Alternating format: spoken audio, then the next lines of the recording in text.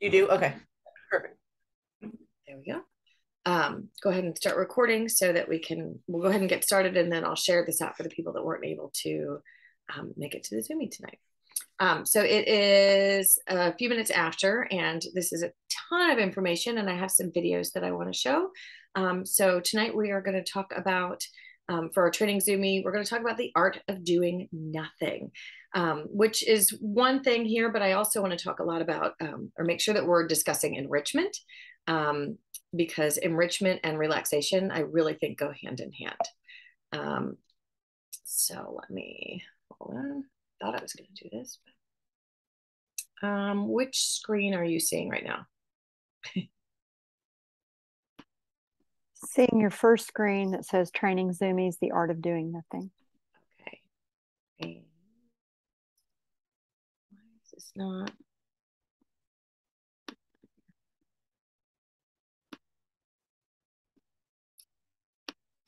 Mm, mm, mm, well, Oh, there we go. Okay. That's all I was trying to do there. Um, okay. So the art of doing nothing. So um, for those of you who are just coming into this, um, this is part of the Agape Rescue and Training Center um, or Animal Rescue and Training Center Community Canine Coaching Program. Um, my name is Kim Iffert. I am a certified professional dog trainer, knowledge assessed. I'm the training program coordinator at Agape. Um, I am fear free certified training professional, uh, licensed family paws educator, um, which is specifically dogs and children. I'm also certified by the Association of Professional Humane Educators. Uh, I'm a mentor trainer for Animal Behavior College, where I got my original certification many years ago. Um, and I have earned my silver certification in Low Stress Handling University, um, which is a great backup to the Fear Free certification because those of us who work in rescue know that Fear Free is fantastic, but sometimes we just have to get the job done. Um, the low stress handling is a great way to do that and still incorporate um, our Fear Free training um, as best we can. As far as the community canine coaching program, um, it is a project that was started by Agape Animal Rescue a few years ago, and it was formed to be able to offer um, accessible, affordable, and equitable humane uh, behavior and training programs for families in need. Um, we have a number of partners throughout Middle Tennessee um, so that we can support intake prevention in shelters and rescues across Tennessee while increasing the adaptability and quality of life for the dogs who are still awaiting adoption. Um, if anybody has any questions, there is um, a link in the presentation to visit our online resources um, on the agaperescue.org website. There's a whole page of online resources, videos, training practices, and um, a link to sign up for our classes as soon as we have our facility available.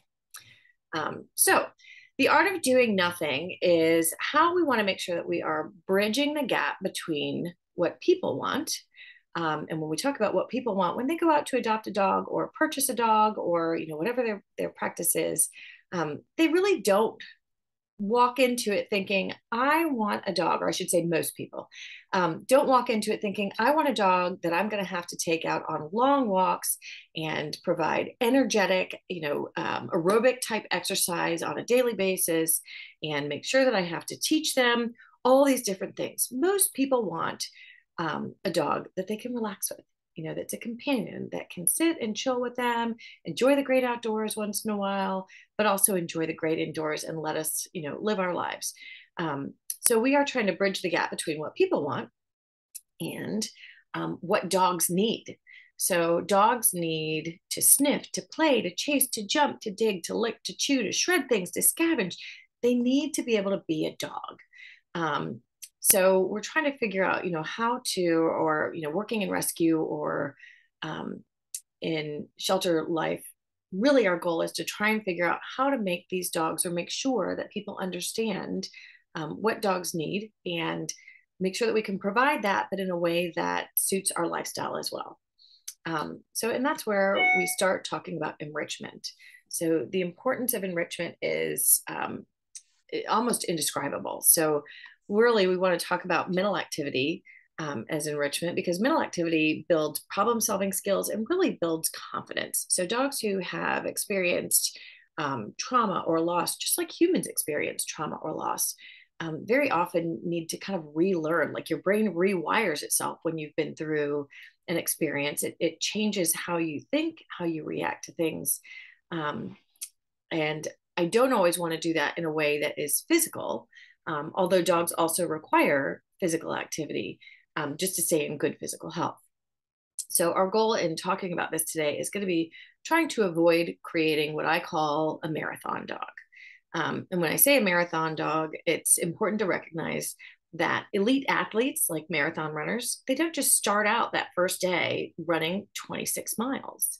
Um, they've spent months or even years conditioning their bodies and building their strength and endurance um, to be able to run those long distances. So I've had a lot of people in my um, training career that you know come in and say, well, I started out and you know they told me at the shelter that I just need to get him out for a good walk every day, or you know to play fetch with him. Um, and I started doing that, but then you know I'd take him for a walk and he'd come home tired, and then you know after a couple weeks I need to take him for a longer walk, and then I need to take him for a longer walk, and then my son started running with him to try and tire him out. Well, what they were kind of inadvertently doing was building this dog's strength and endurance and creating a marathon dog who eventually just needs more and more and more. So, and then when we talk about um, about living in a shelter life, the other thing that's important is relaxation. Um, you know, we talk a little bit about stress and overstimulation. They can cause all kinds of things. And living in a shelter environment or having experienced trauma, um, and trauma can be being rehomed, losing your family, um, it could be a dog who lived outside or didn't have a lot of socialization. It can be all kinds of things. Um, trauma is whatever the dog thinks trauma is. Um, or in the case of humans, and I'll do a lot of kind of relating back and forth to humans and, and animals, um, you know, a human relates trauma differently as well from person to person.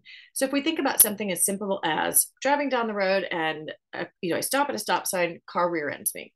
So, well, the car rear-ended me. It might not have done a lot of damage to my car, but oh, the next day I'm so sore. Didn't really require a hospital visit, but I'm sore. I'm stiff. Um, my body felt trauma, but I don't think my brain did. Everything was okay. It's not going to cost me anything. Um, you know, and I didn't have to go to the hospital. So fortunate for me. But the next time I pull up to a stop sign, I start checking my rearview mirror. And it's not because I, you know, I have told myself, I did something wrong. I have to check the rearview mirror. But my brain has rewired to say, your body was hurt and it was stiff. It was something that wasn't caused by you, but it could happen again. So your brain rewires.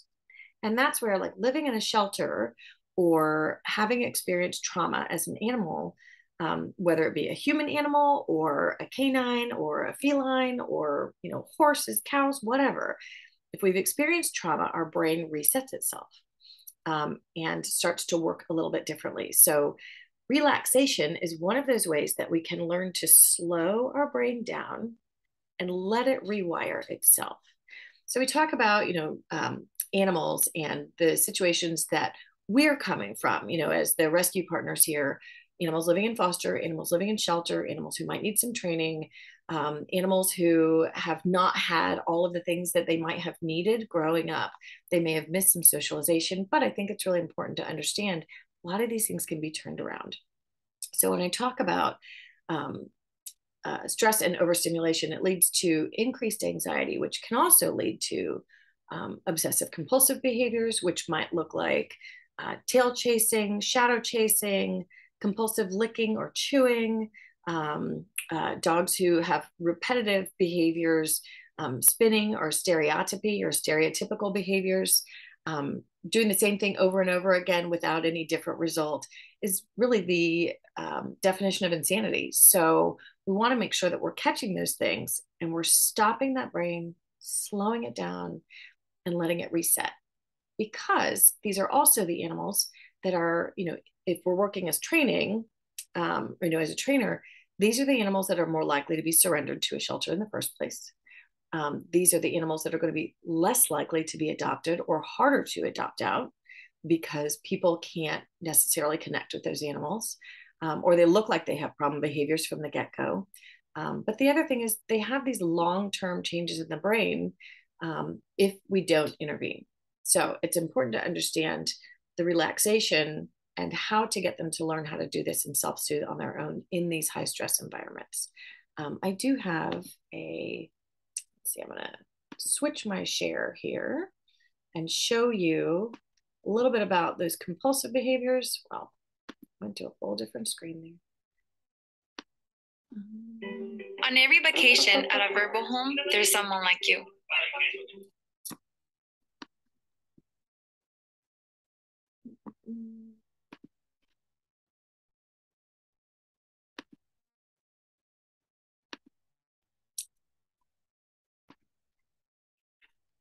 Sharing my screen again to show you stereotypical behaviors.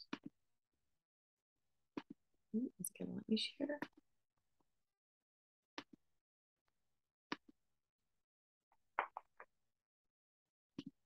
Hmm.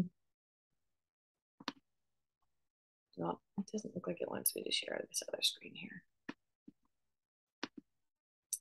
All right, well, stereotypical behavior, kind of walk through, and I will share this presentation with each of you as um, I share the link so that we can, oh, so sorry about this. okay. Are you seeing the YouTube links here? We are seeing it. Okay, thank you. And let's go back to the one we had before. So this dog spinning and spinning, you'll notice in the kennel, he hits the same wall, the same way every uh. single time. This is a dog who's probably been there for a while and hasn't gotten a lot of mental stimulation. So he's created his own. You know, he's bored, so he's found something to do. Um, but unfortunately, it's turned into this pattern. And now he has a really hard time being able to break out of that pattern. And that's one of the things, know, if you don't catch it early on, um, it's something that's very, very hard to turn around. What these dogs really need is to learn how to shut their brain down, how to slow down and stop performing those behaviors. Um, so I'm going to switch back now to the other screen.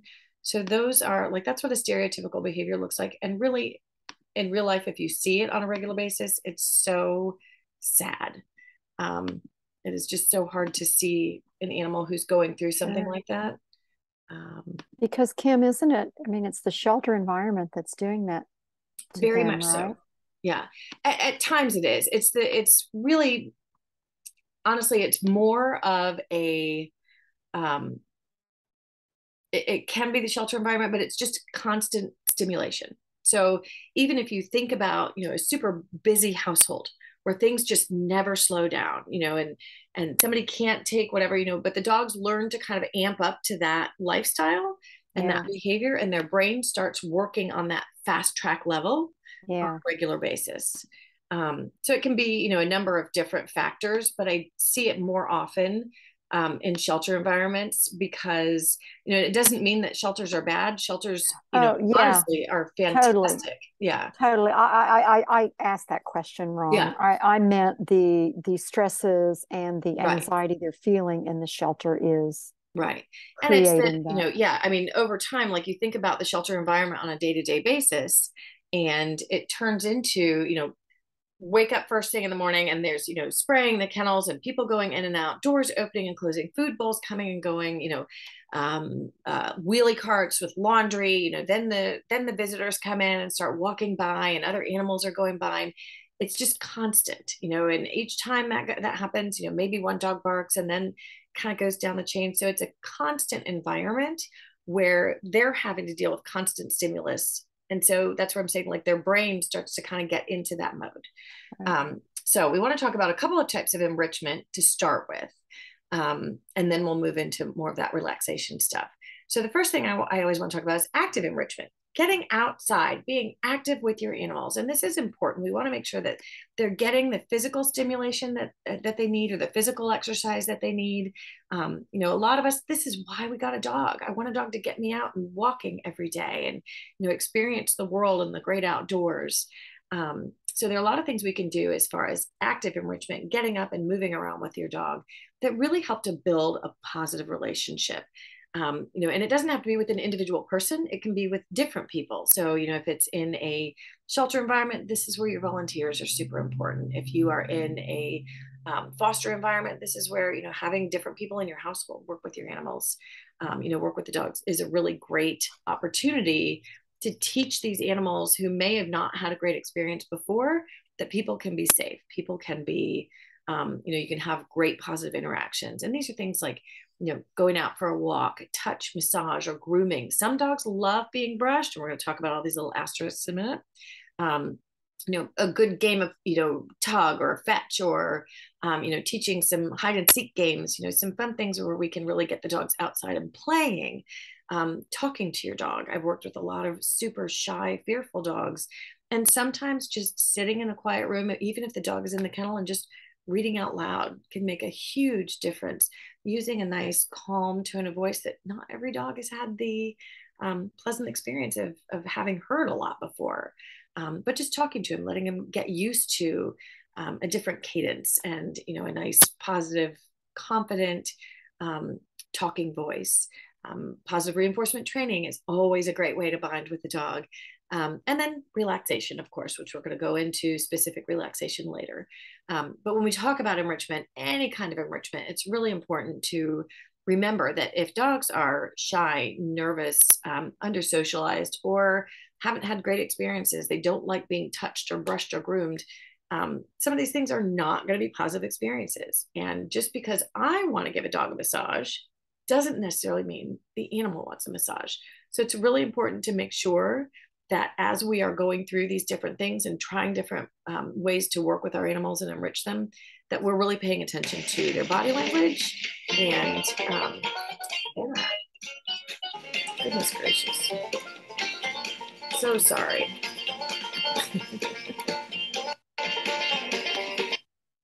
We're gonna shut that one down. and for entertainment value, I just threw in a couple of horses with jolly balls. um, anyway, um, but it's really important to make sure that we're paying attention and that we're letting the dog decide what is enriching for them, what is enjoyable, what is pleasant to them, um, and that we adjust our activities accordingly. Um, so, more passive enrichment, things that we can do without putting a lot of energy and effort into it, um, again, positive reinforcement training. You know, pull out those treats and start working on things like teaching your dog to go into a crate. You can do that by tossing a treat from three, four, five feet away. If you have great aim, you can do it from across the room. Um, you know, but crate training, teaching touch or targeting behaviors are great ways to build confidence in animals. Um, uh, sits and downs, teaching recall training, and I use touch and target for recall training as well. Um, you know, put a leash on them. You can work within your house, sitting on your couch um, training games, you know, 101 things to do with a box, hide and seek games, hide toys around the house or treats around the house, teaching fetch and retrieve. In that case, the dog does most of the work, and I can kind of sit on the couch and uh, and just enjoy my afternoon. So passive enrichment is another great way to work with your animal and build confidence, um, and you know work with them on kind of getting their brain to learn different things.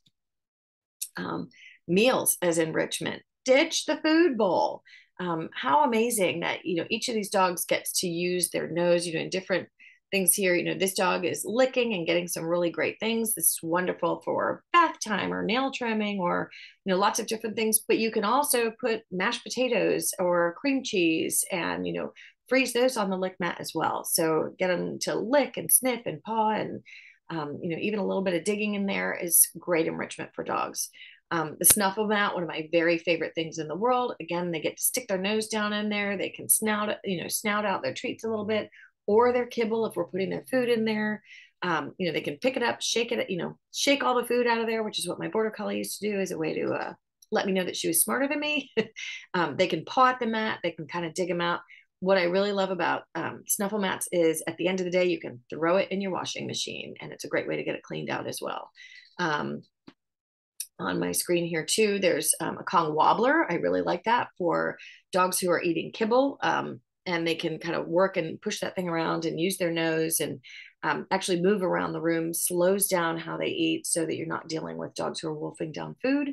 Um, we also have puzzle toys and slow feeders in here. So lots of ways that you can actually feed your dog, slow down their mealtime if they're a dog who eats really quickly, but also make sure that they're having to work through some of this mental activity, um, use their brain to solve these puzzles to get their everyday meals. Um, and then why is this doing this to me? There we go. Um, and there are lots and lots of ways to get creative with this. So if you want to get your kids involved, if you're working in a shelter or um, a rescue and you have volunteers that want to get involved, um, you can find things just in your home, you know, little um, toilet paper rolls or paper towel um, roll holders using those and just folding the end over, putting dry kibble in there. You can decorate them if you've got kids who are really creative. Um, you can punch holes in them. So the dogs and cat and cats actually i used to use these a lot with cats um, you know you can roll them around and drop treats out just like you can with an old you know inexpensive piece of pvc pipe with some holes drilled into it these little caps screw onto the end again you can stick in your dishwasher when you're done um, they can nose them around and just roll them around to get the food out um, with the toilet paper rolls and over here on the left side of the screen um, the egg cartons they can shred those pieces of cardboard if they happen to ingest them. They're digestible, it's not going to hurt them, but you do kind of want to watch to make sure that they're being broken into smaller pieces. Um, but putting their food in those is fantastic.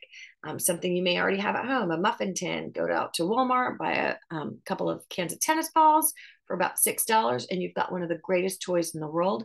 Um, you take those little tennis balls, you put your food into each one of the um, muffin holders, tennis ball on top. And when the dog is done getting all the, you know, figuring out to move those tennis balls, they've got toys all over the floor to play with.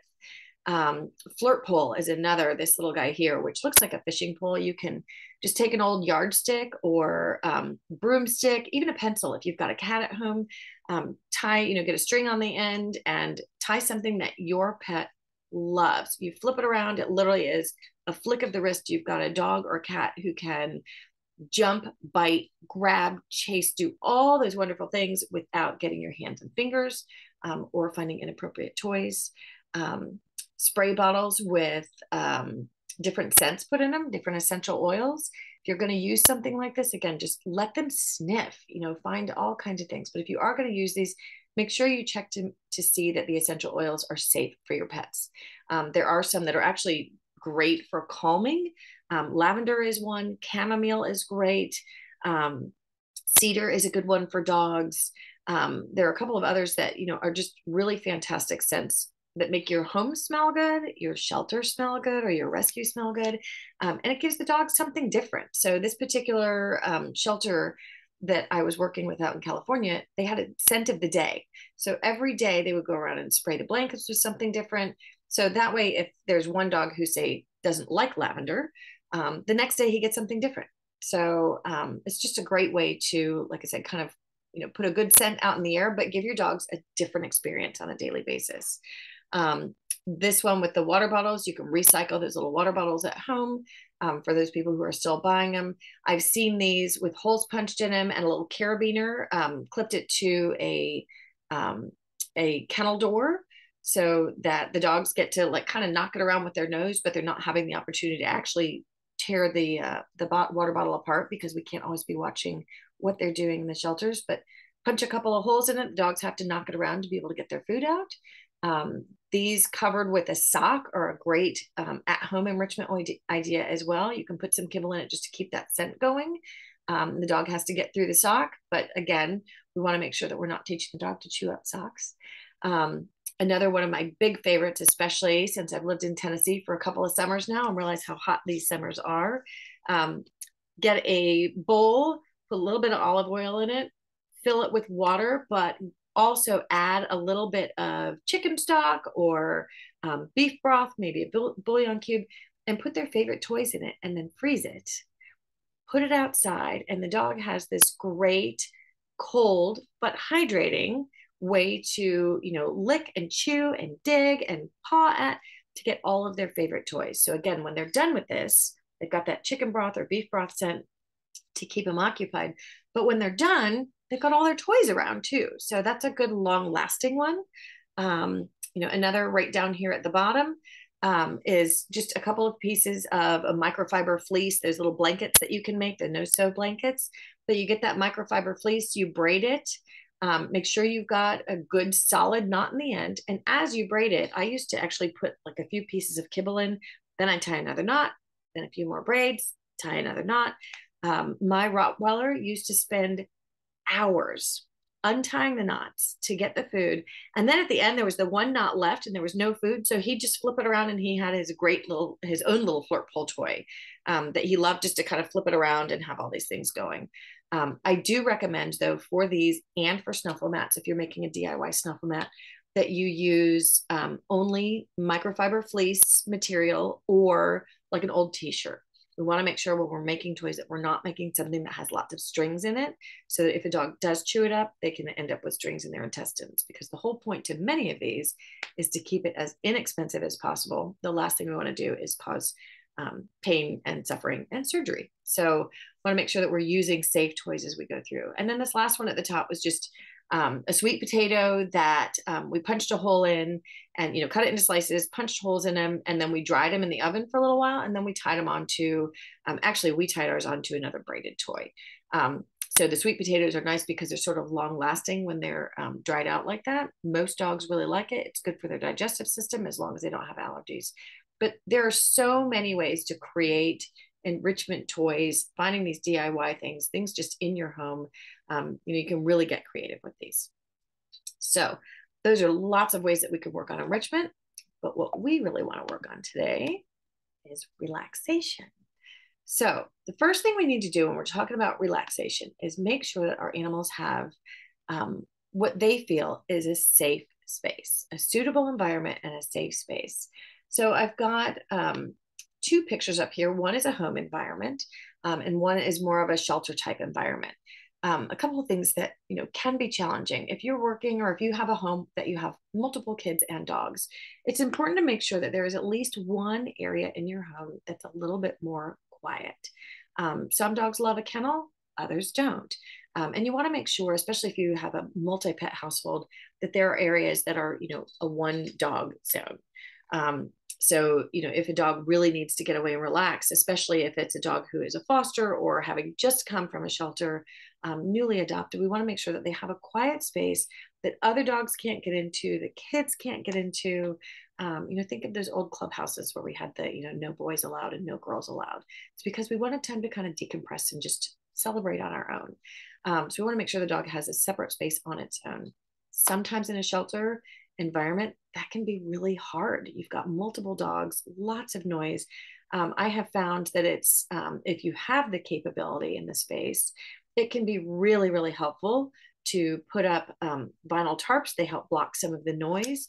I've even used blankets across the top, you know, put a big cardboard or a, um, a piece of vinyl sheeting across the top of a kennel and store your blankets and towels up there. It helps absorb the extra noise in the kennel. Um, we always did that Fourth of July. We kind of did that anyway to try and, and block some of the noise of the fireworks. Um, but also, you can put another kennel if you've got a hard sided crate. Put that in there. It's one more sound barrier to help give them a place to kind of get away from the noise, but it also gives them that cozy space where they can go in and, and den up if they want to. Um, if you find that they're not that dog, then you can always take it out. But it's a great option for um, a shelter or rescue environment to have a smaller space within the space where they can kind of go away.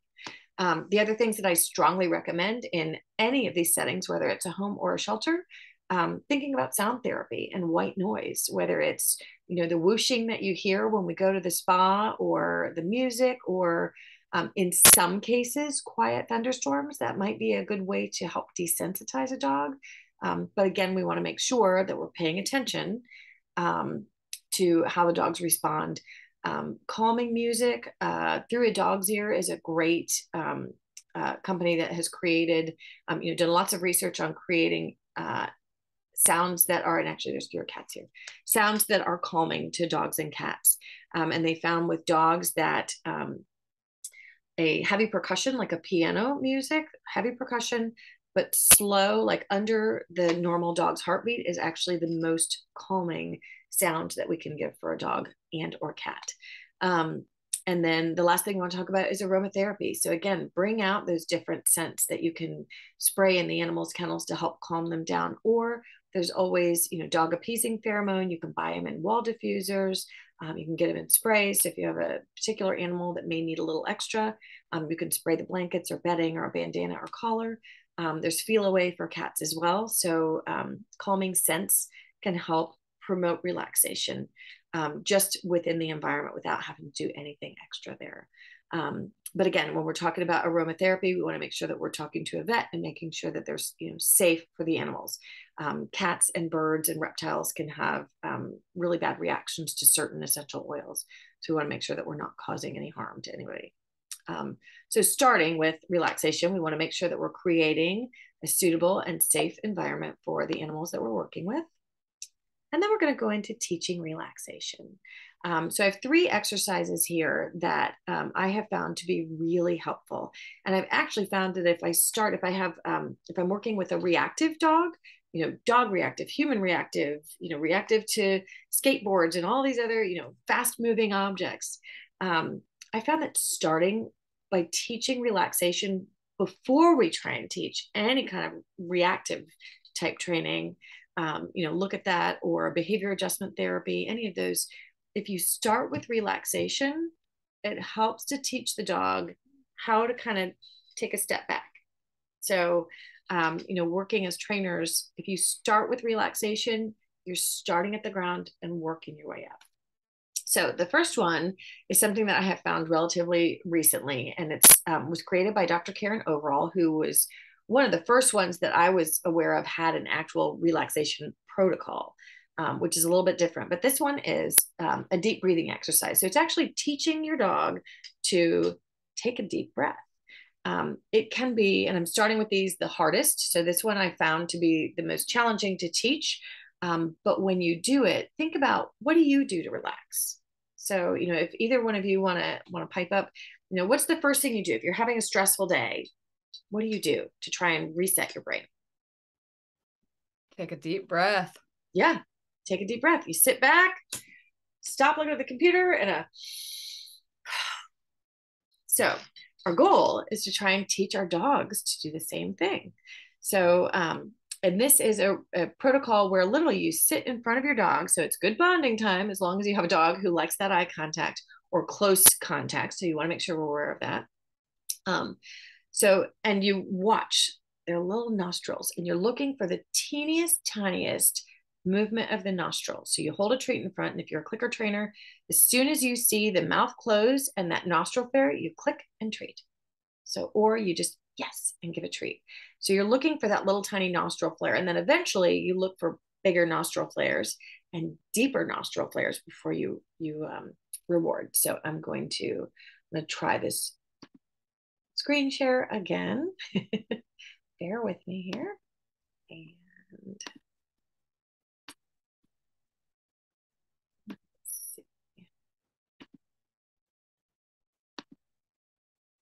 and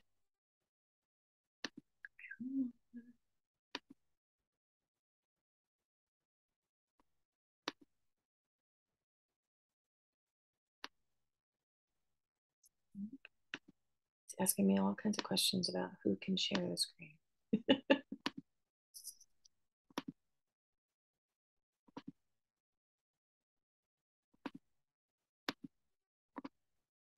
there we go is not the one I want to show you yet. Take a breath. All right. Okay. Do you see the dog sitting on the floor? Yes. The little pitty guy. Okay. Slide this over. So I'm not going to play the whole video, but I want you to see how she breath. does this. It teaches your dog how to hold their breath as a way to learn to deep breathe and focus. This is an exercise that Karen Overall, she's a trainer, um, PhD, who help dogs be able to take a deep breath, much like how humans, when we take a deep breath, they don't have to always just physically shake off. They keep. So I am following her instructions. So step mm-hmm. one is teach your dog to take a deep breath. In order to do that, ask your dog to look at you when you have a treat near your eyes. Then when they look at you, bring the treat down to their nose a few inches without giving it to them. Say breathe and make for them to be relaxed. If they start to get agitated, start over. You might have to do a toss off treat and start over because we don't want them to get anxious, agitated, annoyed that they're not getting the treat. So it's going to be here. They look here, bring it to their nose. When you see their nose flick, like they're taking a deep breath, that's when you'll say yes and release the treat. Okay? Um, she says to do this for a few times, making sure your dog is comfortable and flaring their nostrils. Um, you can start to close their heart rate and respiratory rate so they can become more focused and relaxed. So you need to only relax, only reward when they're in a focused and relaxed state. Okay? She said it should only take more than no more than five minutes to teach your dog this. We're not going to do this for five minutes.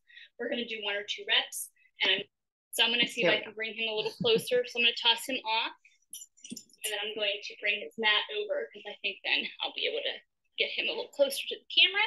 And I want to see if you guys can see his nose flick. All right. So it's that little nostril flare. I'm using Stinkies. So he's a little agitated, so I'm going to toss off again. and we'll start over. It's like that's a little chompy. Breathe. Yes. And you'll see it right around in here. You see that little. He's playing Leave It.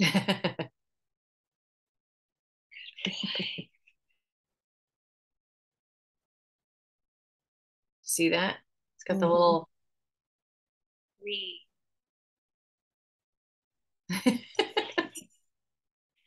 trying to make this frustrating. So if I see he's getting frustrated, I'm gonna toss him off and let him have the treat. I'm not gonna reward him for a breathe if he's not giving the breathe.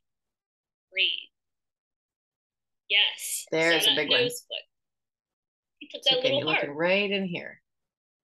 Yes. You see, I hope you could see these. If not, I'm just looking for a nose flare. Yes. You see how he's air scenting? Mm, what's that? What's that? Breathe. Yes, he took a little flick. Toss off. And last one.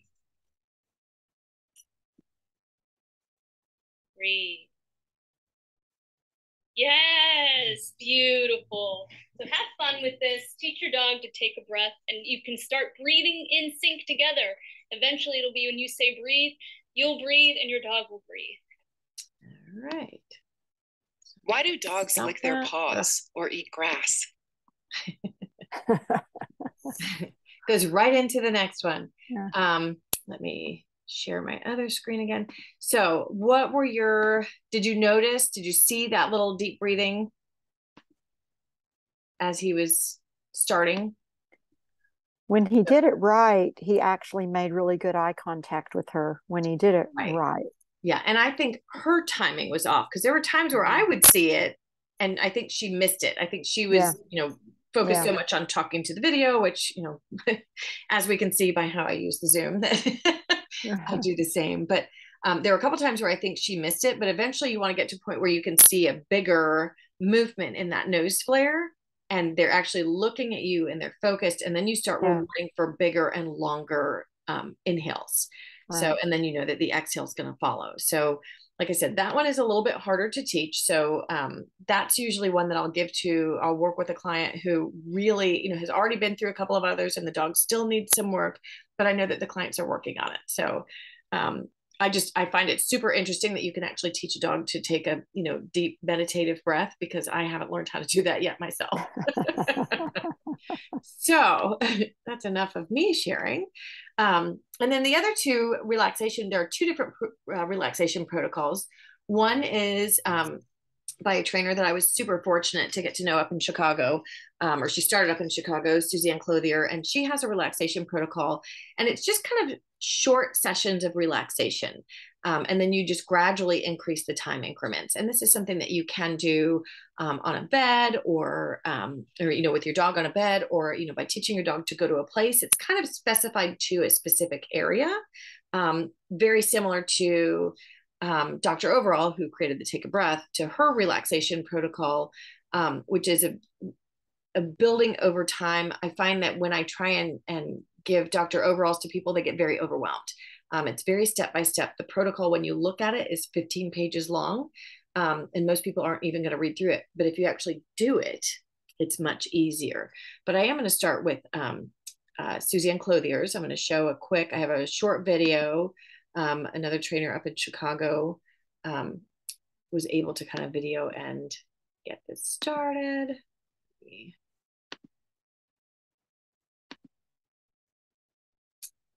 There we go.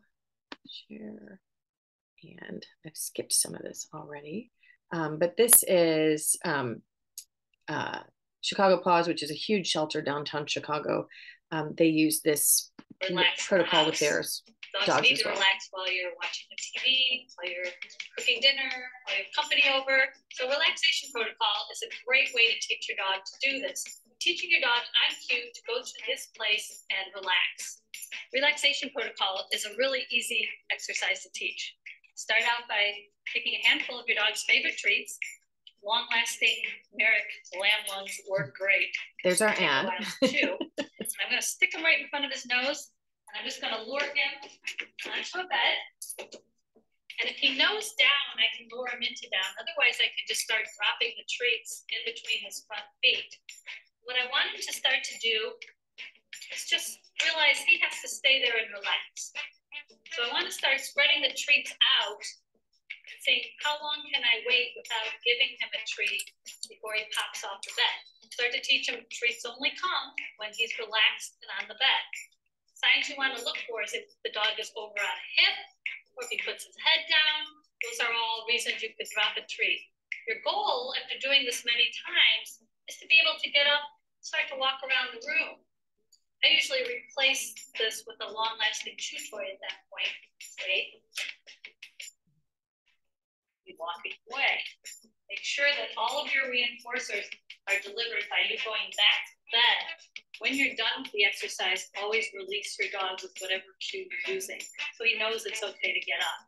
Once you've mastered relaxation protocol, both you and your dog can enjoy some relaxation. I love that partly because that dog looks just like my dog Stanley. um, so I really do like this exercise, and I like that you know in a lot of cases we'll teach you know go to your place or go to a mat, but in this one they really talk about you know from a from a shelter or rescue perspective, or somebody who's working with a brand new dog who hasn't had the opportunity to learn that skill.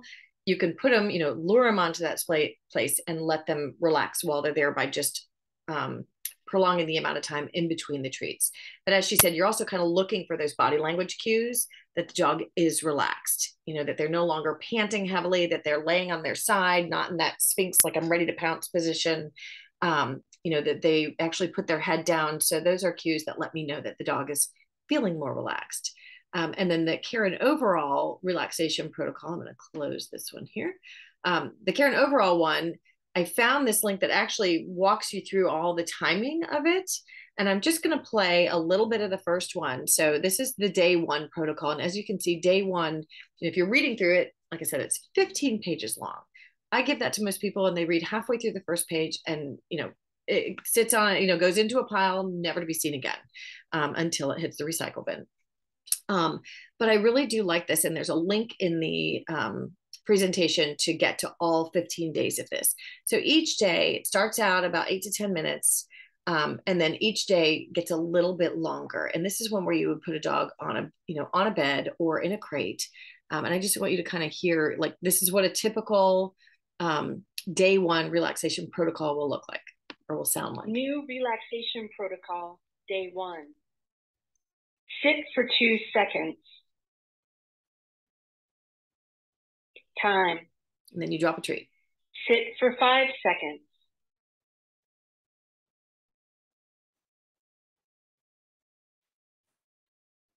Time. You drop a treat, reset. Sit for 10 seconds.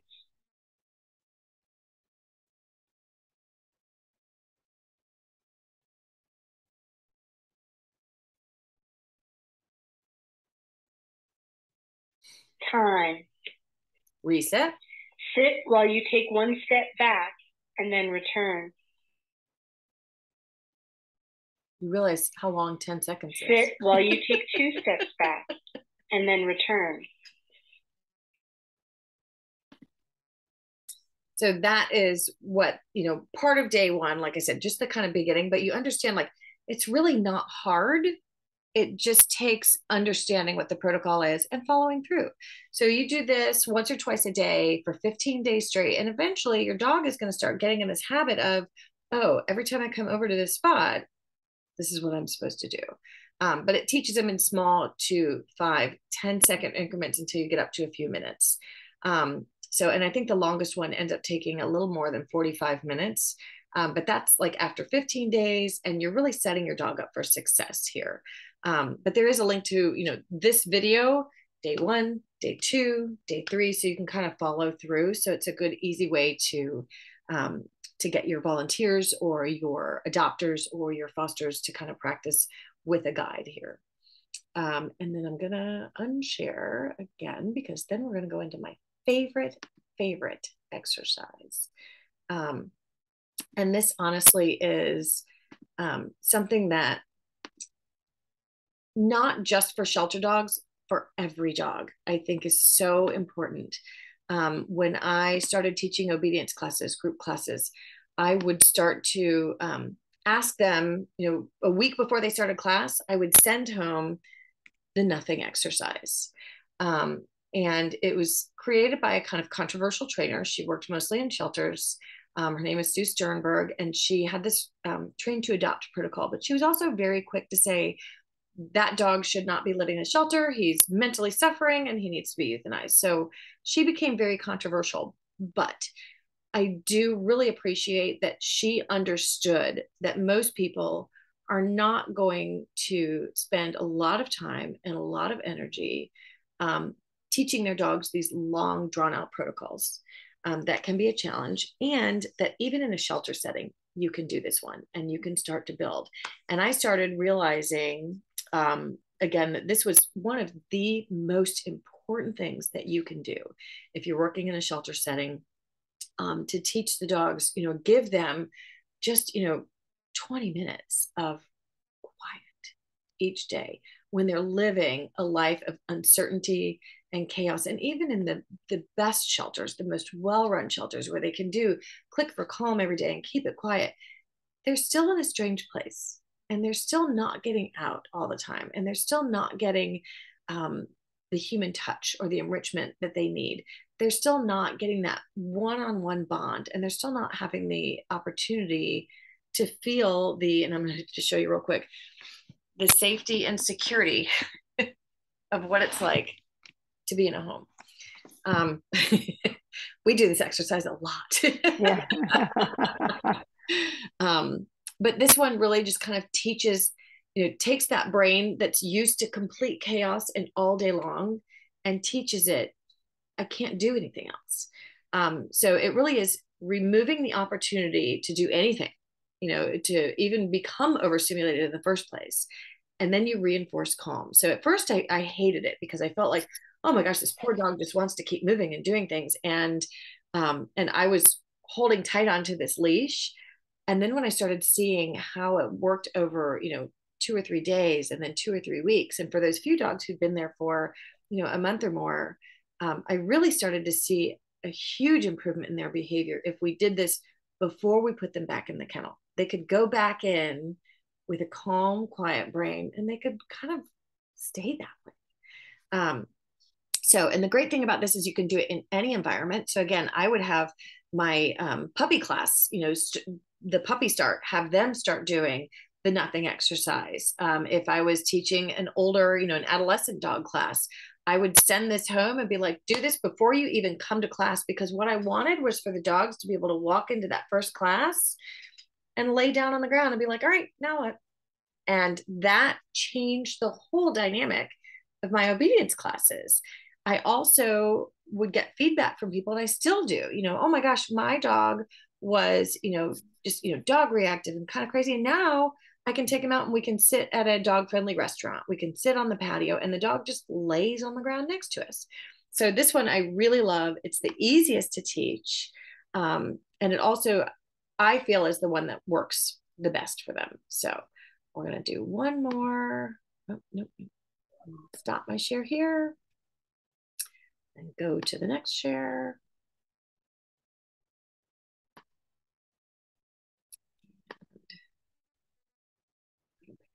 screen. So, and this is what the nothing exercise actually looks like. So this is a dog that um, was in a shelter, and this was this video was taken several years ago. But this is a dog who had not been adopted and was starting to do the stereotypies, this circling and circling and circling in the kennel. The volunteers didn't even want to work with him because he was crazy. He was so hard to control. So they started doing this. This was not his first day doing this. Um, I have worked with dogs where I would hold on to this leash for half an hour before they stopped trying to um, move away or get away. But this one isn't quick. So all they did was put a blanket on the floor and notice how she's holding that leash. She's got it super short.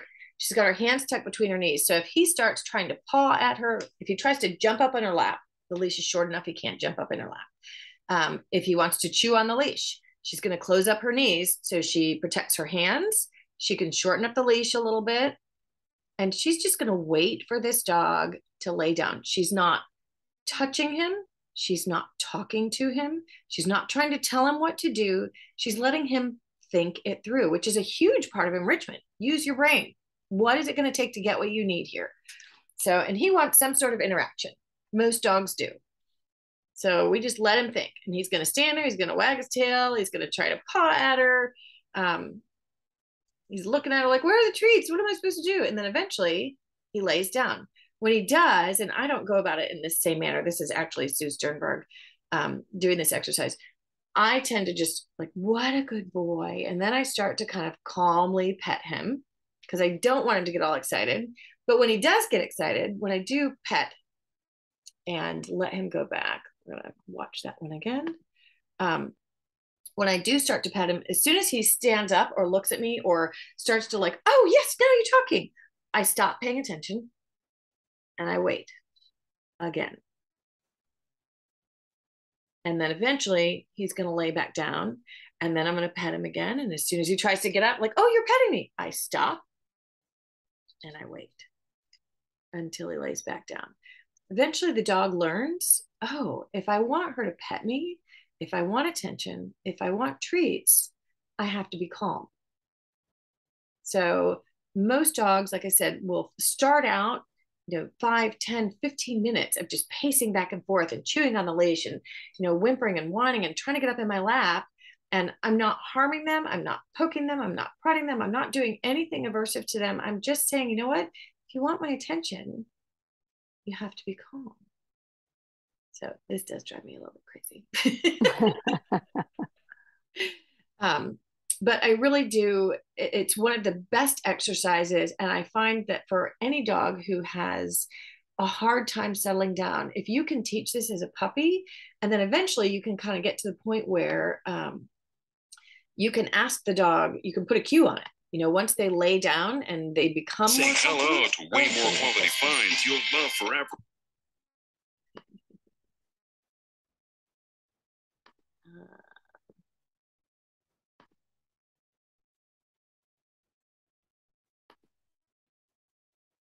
There we go. um, the YouTube just keeps going.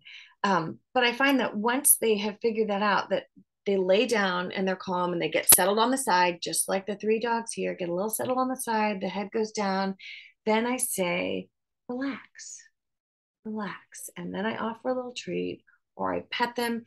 I want them to mimic my behavior. So I'm also, when I'm talking to them and when I'm petting them, I'm going, You're such a good dog you know, in a nice, calm, quiet, soothing. And when I pet, I do kind of a heavy massage type pet. I don't do the, you know, hands all up. I think she was using that as an exercise to say, when they get up again, you stop. um, but I was looking for the shortest video I could find because I knew we'd make it right up until eight o'clock. Um, so anyway, I find the nothing exercise to be the most important, the most impactful, um, and the one that seems to be the easiest for um, any average pet owner to be able to perform. Um, just sit with your dog on the leash. They don't get to jump up on the couch. They don't get to jump up in your lap. They don't get to chew on the leash or your shoes or your shoelaces um, or any toys. I removed everything. All they have the opportunity to do is lay down and then earn that interaction by just being calm. So that is the end of the presentation for tonight. We just want to talk a little bit, you know, in conclusion, um, teaching relaxation again helps to bridge that gap between what dogs want and what humans want, or what dogs need, I should say, and what humans want. Um, it helps to um, to teach both of us, both sides of this equation, um, how to de-stress, um, how to it can help work on those um, compulsive behaviors. Um, it helps to address the need for constant interaction. Um, for humans, it can help us relieve some of the frustrations and resentment that sometimes come when you have a dog who needs so much engagement and interaction and physical work. Um, it can help to um, decrease the problem behaviors that we have or that we see in the dogs. Um, it can help to um, increase our problem solving abilities when it comes to working with dogs. And it helps to um, make sure that we're, you know, and I'm doing kind of the opposite of everything I have here. You know, the, the gap that we're trying to to bridge is, you know, for dogs who are being surrendered and returned, um, we can, you know, create a, um, a shorter length of stay for those animals that are in those shelters. Um, and we can also make sure that people see this more as um, an empathetic response to some of the challenges that they're dealing with. So um, the goal in all of this, you know, is to be able to bridge that gap between what we're expecting from a dog and what a dog has been through and how we can address that. So, um, and that is the end of the presentation. So any questions? I know I had a lot of back and forth as far as the videos go. What I'll probably do is just send out a link to the direct presentation um, and a recording because the presentation is easier to get through if you can just click that link and go right to that particular video. Um, any questions, thoughts? Outstanding. It was really good, Kim. Really like the videos. I thought those were excellent. Thank you. This was awesome. Thank you so much. Yeah, yeah, certainly. And and hopefully we have the relaxation protocol um, at Crossroads. Um, I don't know that a lot of the interns understood why, you know, and that's I think that's a big part of this. Um, I actually just went out. We had a dog that, um, or actually somebody who had um, has a forever foster from Agape right now, and her son went out and adopted a dog who um, had spent uh, eight months, over eight months in a shelter um, large breed dog and the dog that they're trying to introduce is a senior a much smaller dog and you know they're like what do we do? He just is so active and he just wants to play all the time. And in just um, you know just over a week they're already seeing a huge difference and i was like he needs to teach his brain to slow down. You know he's he's used to being in that you know that busy busy busy chaotic environment all the time um, and he just needs the opportunity to go you know so and trying to teach ourselves how to do that can be a challenge much less trying to teach an animal that we can't explain to and why this is so important. So. Were these some of the things you showed them to do kim? Yes. Yeah. And this is charlie. So um, yeah right. Uh, yeah trish went out with me. So right. um, yeah this was charlie. We did the nothing exercise and i was like whenever you come over you need to spend the first few minutes just teaching him to do nothing you know, be relaxed and calm down. And then his whole body started to kind of fall into like, oh, I can do this. And it can, you know, it, it, it completely changes their demeanor when you do that. So, right. You know, right.